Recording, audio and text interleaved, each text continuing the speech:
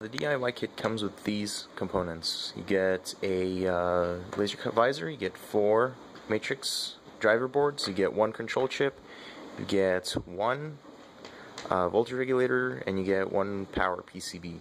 So this is what comes with the kit. In order to complete the kit, you will need to buy a few other components. So you will need two 16 megahertz crystals. You will need three 22 picofarad capacitors. These are uh, 50 volt.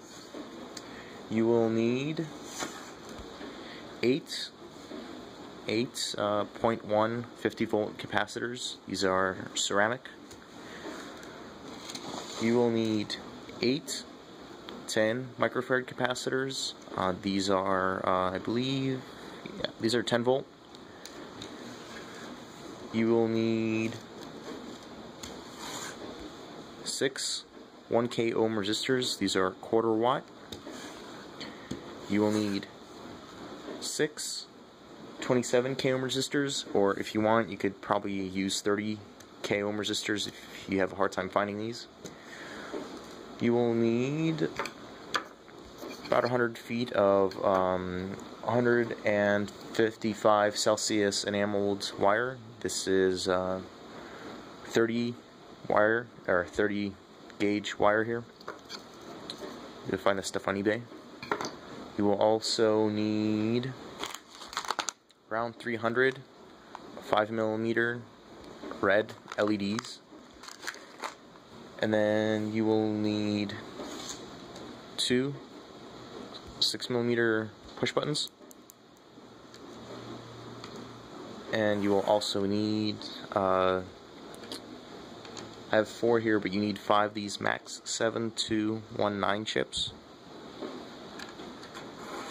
You also need uh, a 4-pin female header. You'll need a 3.3 volt logic converter. You need to get this one exactly. Um, they're sold by MD Fly. You could find these on eBay. You will also need uh, two 4 pin headers. These are just plain standard headers here. You will need a battery pack. And you will also need a Bluetooth module.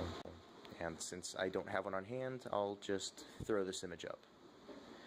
Okay? And uh, for the tools, you will need a soldering iron, wire strippers, scissors, hot glue gun, some wire cutters, you also need some hot glue and some solder. And one thing that I also didn't show was the 3 meters of Cat5 or Ethernet cable for making the interconnections.